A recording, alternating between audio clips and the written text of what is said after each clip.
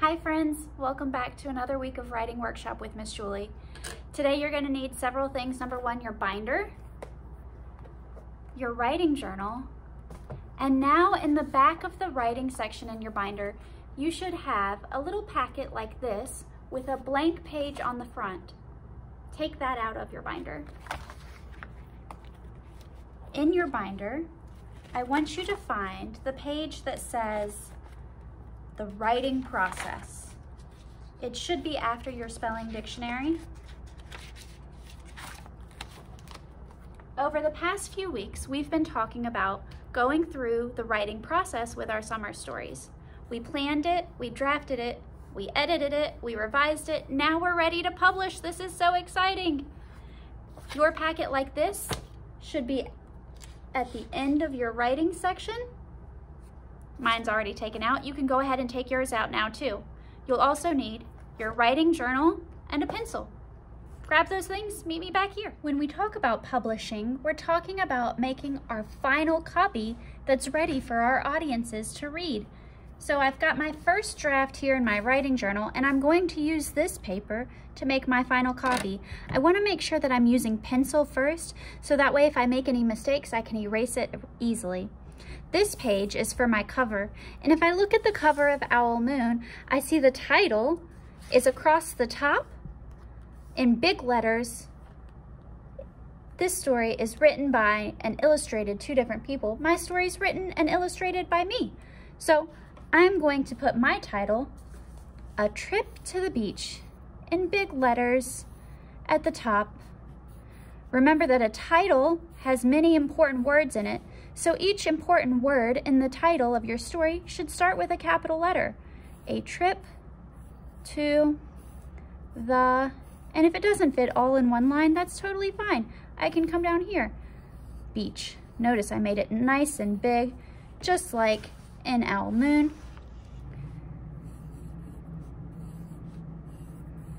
And then down here at the bottom, I can say written and illustrated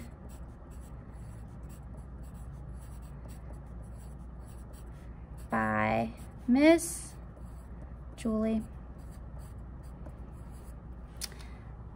I made sure I used my best handwriting. If I made any mistakes, I can go back and fix it. Now I can do a sketch here. I think I'm going to sketch my friends and me at the beach. Remember, we're not gonna use stick figures. I'm gonna draw some faces. I'm gonna draw some waves in the background.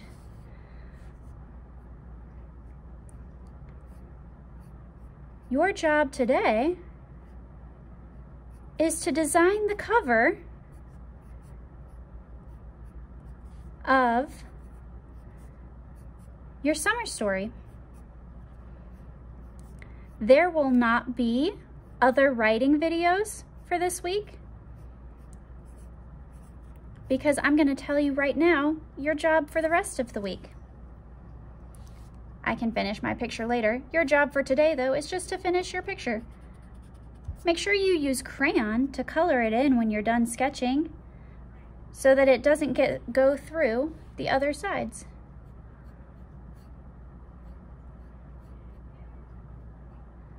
Right? So today is Monday. I'm going to finish my cover. I might even take my black crayon and trace over my words so that it's really hard. It's really easy for my reader to see.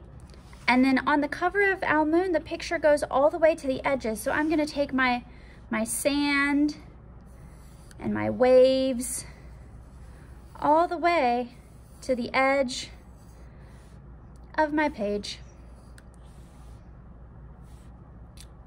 Here is your job for the rest of the week. On Tuesday, you're going to use your very best writing to write the beginning.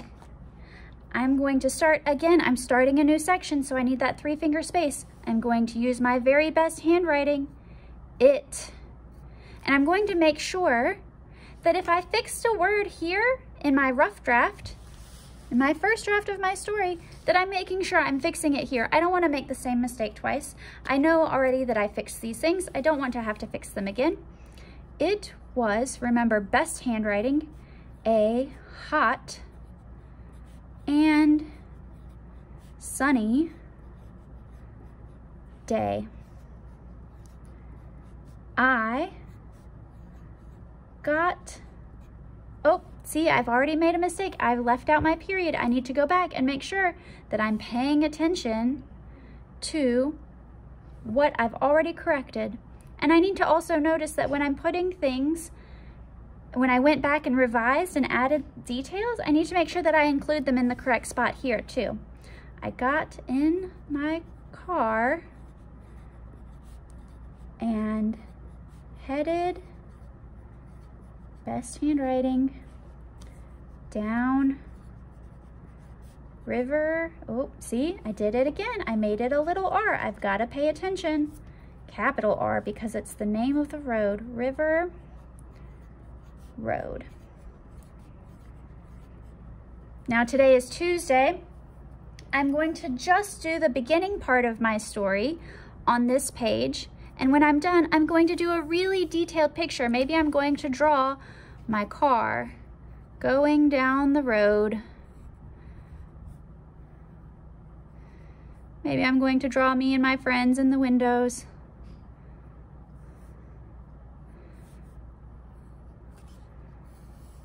On our way to the beach.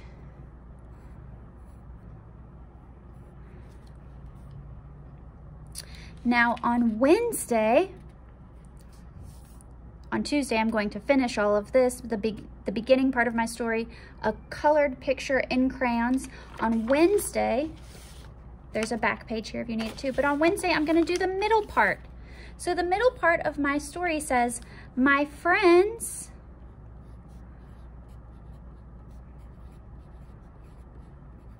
were waiting and see, oh, look at me. I remembered that I spelled it wrong the first time and I had to go back and fix it, so I made sure I spelled it right. For me to get there. And then here I've got, I've got some things I've got to put in. Those quotation marks for dialogue, you're here. Miss K shouted. And just like I did on Tuesday, on Wednesday, I'm going to write the whole middle section. I've got a back page if I need it to. And I'm going to draw a very detailed picture. Maybe I want to put some speech bubbles, but I'm going to fill up the whole space with pictures and color about what happened in the middle of my story. So can you guess what we're doing on Thursday? If you guess writing the end, you are absolutely correct. So the end of my story starts finally. Finally, it was time to go home. And I'm going to probably draw a picture of me and my friends packing up our things and getting our shoes and our towels and getting ready to leave. Throughout the week this week, there will be some Zoom spots open for you to pop in and ask any questions, but I feel like you probably have a really good idea of what you need to do for the entire week. I want this to be your very, very best second grade work. Make sure that you've got everything as neat as can be and color and details and labels. And if you fixed it in your first draft and you made corrections because you knew something wasn't spelled right or didn't look right, make sure you fix it in your final draft too. We will have some time on Friday to share these stories with each other. I can't wait to hear them. See you then.